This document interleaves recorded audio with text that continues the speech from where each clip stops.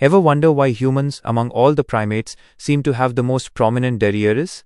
It's not just for sitting comfortably, our glutes tell a fascinating story of evolution. It all goes back millions of years, when our ancestors started walking upright. This pivotal shift to bipedalism required a massive re engineering of our anatomy. The gluteus maximus, the largest muscle in our butt, became crucial. It stabilizes our trunk, preventing us from toppling over when we stand or walk. But it's not just about walking. Our big butts are incredible powerhouses for running. When you sprint or run long distances, your glutes generate immense force, helping propel you forward and maintain balance. This was vital for early humans for hunting and escaping predators, making us efficient endurance runners.